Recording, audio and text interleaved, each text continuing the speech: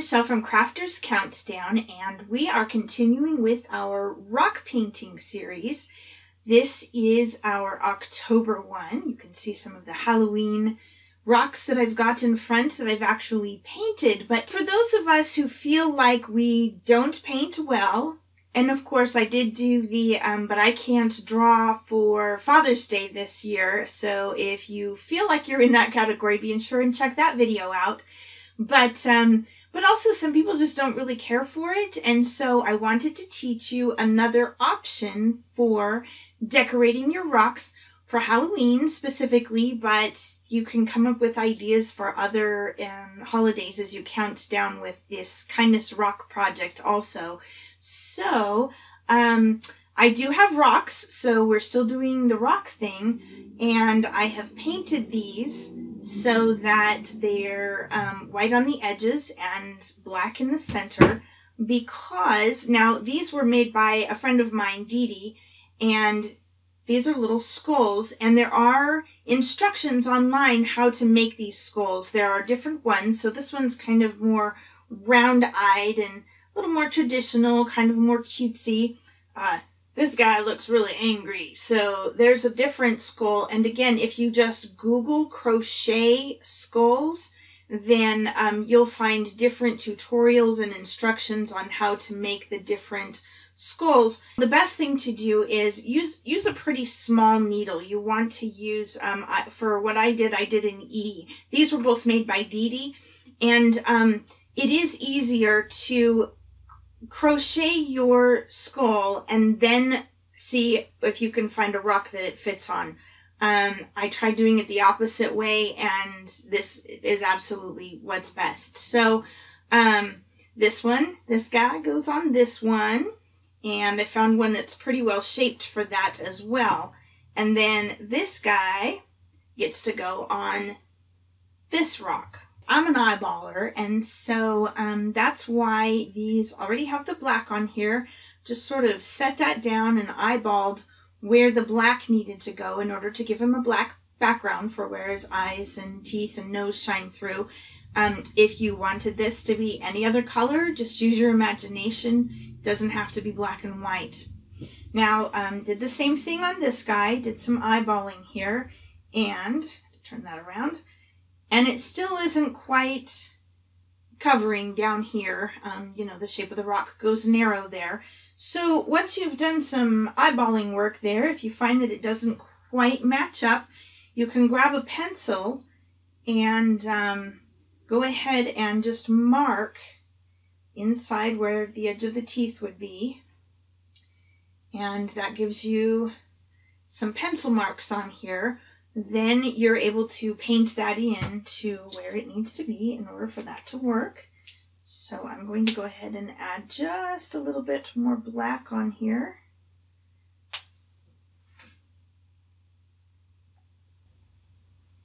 You don't have to have crisp lines on the edges there. Um, it's not going to necessarily show, but I kind of like to have crisp lines, so I'm going to square it up. Right, we'll set this aside to dry. Now, I was so inspired by the skulls that I thought, wow, what else could we crochet? So I made a little spider.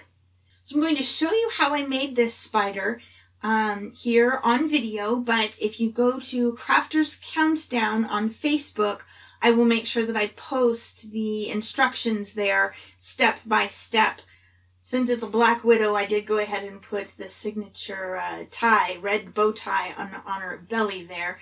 This is just tied on to the rock. Um, this rock I painted with a crackle and um, I've done this one with a crackle also, and I will say I'm not overly fond of um, this brand that it did. It just isn't working very well for me. I've seen some really great crackle paint jobs and this one's not doing it. But I thought the brown so that there was a little bit of contrast but nothing too bright. And then this guy or girl, it's a female if she's black and has the uh, bow to red bow tie, I just, instead of tying off the string, I went ahead and um, left it long and then tied it to the other end. So it's tied here in the back and it was disconnected here. And then I have the other string from finishing the body and I wrapped it around this way. And then um, you can just take and put your needle in one of the loops of the neck and pull that through. And then you can pull it as tight as you need it in order to get that to stay on there. And then make sure that you inside there put your label if you want someone to post that they found this. And um, that was a lot of fun. So that one's tied on. This guy's going to get tied on. It's easier to tie on the really large ones, but with the small ones, you also can glue them or Mod Podge them down. I know that um, Dee Dee, the one who made this, said that she was Mod Podging them. So I will go ahead and Mod Podge this guy onto this rock. Hadn't applied any yet for the coat. Because the yarn will absorb some of your Mod Podge, you do want kind of a thicker coat there. And this will make it a little bit shiny as it shines through also. And then you simply place the face on there and pull it over a little bit where um, so it covers the black. Give it a couple of squeezes and then that will um, be adhered to there once it's dried. Go. At our Crafters Countdown YouTube channel, we are working on getting up some how to crochet videos. We'd love to get some how to knit videos up as well. And then we're working on cross stitch for the designs that we have. So please subscribe to our channel and watch for those coming up, probably right after Christmas. Um, because Jessica Kringle's working really hard right now on getting some videos up for us. But go ahead and start it the way that you normally would.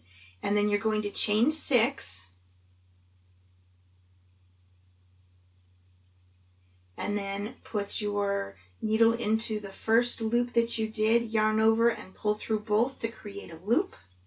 So there's your loop. And then you're going to do 12 single crochet inside this loop. And then you go into the top of the first stitch that you made and go ahead and do a slip stitch to connect it and make it perfectly round. If you were to want to make a really small spider on a very small rock, then you wouldn't go around again. But since we're going to go ahead and go around again, I want to show you how to increase. So you're going to chain one, and then you half double crochet into the very first stitch there, and then you're going to two half double crochet into the next stitch, and then you're going to one half double crochet into the next stitch.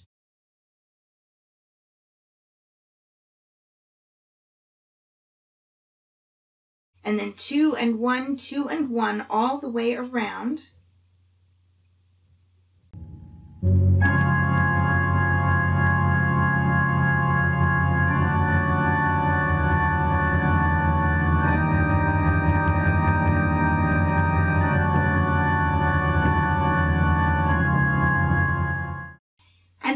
Get to the end, you're going to go ahead and again do a slip stitch to make it a round circle. And we will go ahead and finish this off. Go ahead and leave yourself a bit of a string there so that you can have something with which to tie it if you need to later. Now, to do the body, we're going to start out the same way.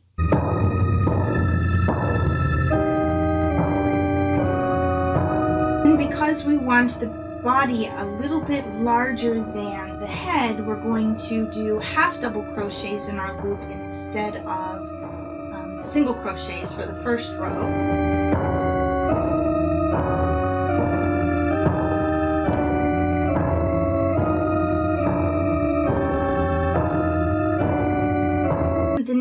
Set, we're going to, just like we did last time, do one and then two and then one and then two in each of the loops going around, but we're going to do a double crochet. So the first thing you want to do is chain three, and that counts as one double crochet and then go ahead and double crochet into that very first stitch so that's like having two in the first one and then in the next stitch you're going to do one double crochet and in the next stitch you'll do two and then all the way around. And this increasing helps to not pull it and pucker it um, as you're going around the circle. It, it helps give it some spread so that you're not um, ending up with more of a bowl shape or a cone instead of something that can lie flat.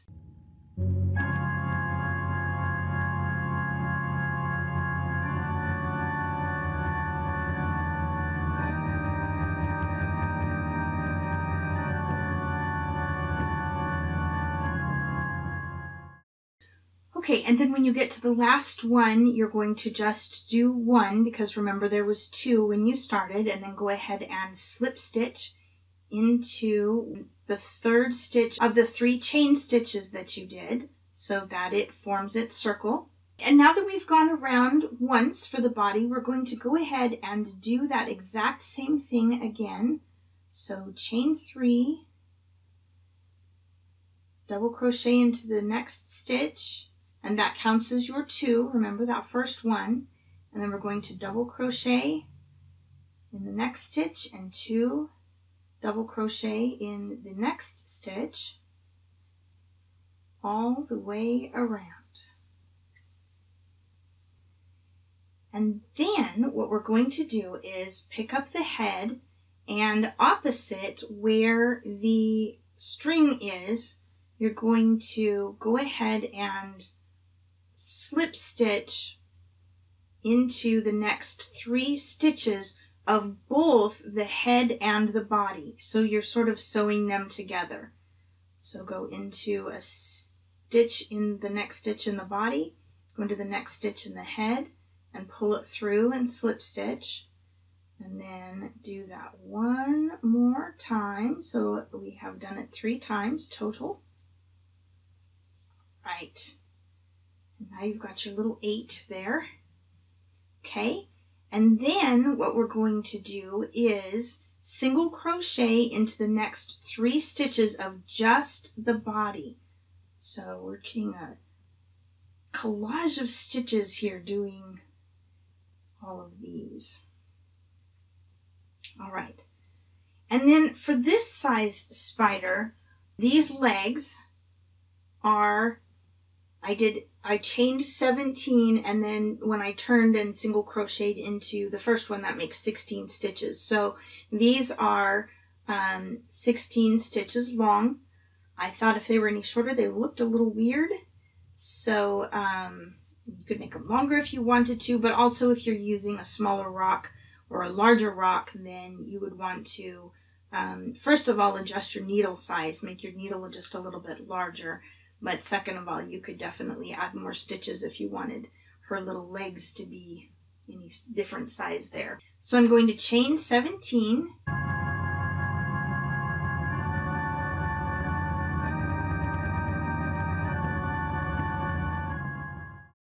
And then when you've chained your 17, you're going to single crochet in the second stitch from your hook and then go ahead and single crochet in each one of these stitches across.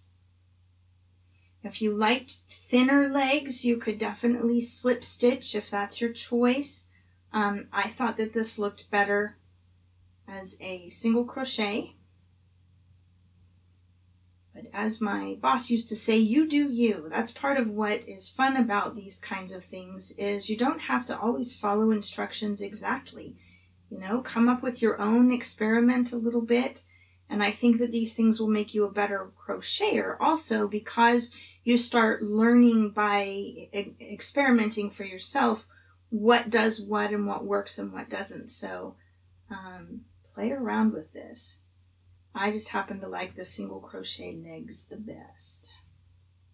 So you wanted super fat legs, you could do a half double or a double. You're doing a huge rock and a huge spider. Spiders freak me out, so A lot of my friends thought it was really funny that I was even doing this. It's like it doesn't look real enough. I guess if I if I left it on the floor, it would. If I saw it in public hidden somewhere, I would think twice before picking it up. All right, so we've done the 16 for her first little leg, and now we're going to single crochet back into her body in the next two stitches. One, two, and then we'll do this again. We will chain 17, single crochet back to the 16, do two single crochets into her body, and continue around until she's got four legs on this side. So give me just a minute. I'll be right back with you while I do that.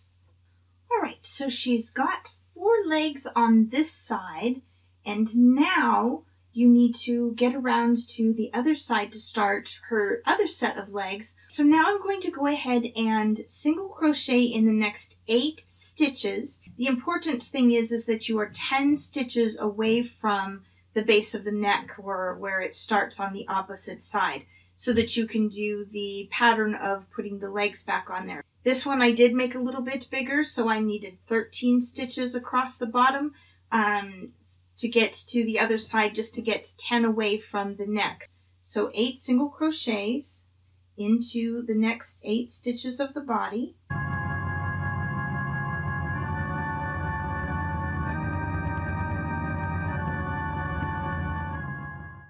And now I'm going to follow the pattern that I did before where I chain 17, turn, um, single crochet in the second chain from hook, and then single crochet in the next 16 stitches across, single crocheting in the next two stitches on the body and continue that until I get back up to where I've done four legs and then I will do three single crochets to up to the head. So give me just a moment to finish that. All right, and then I simply finish off. I'm going to leave quite a long string, especially since I don't know how long I need this to tie it on. And try to straighten those legs out a little bit. Very curly. And there we have a little fun spider that we can put onto one of our rocks. So I can use the one from its head to tie it around this way and just attach it to the back side. And then this one around the neck, I can tie it there. And she will be nice and secured to this rock. And then I can hide it somewhere where someone can find it and hopefully they will feel like I was kind to them and not mean from scaring them. So, since this rock belongs to this little girl, I get to take this and go rock hunting now. Be sure and join us next month. We're going to talk about quilt rocks and I will show you a really fun Halloween quilt rock when I do the collage at the end. So thanks so much for joining me and I will see you next month. Bye-bye.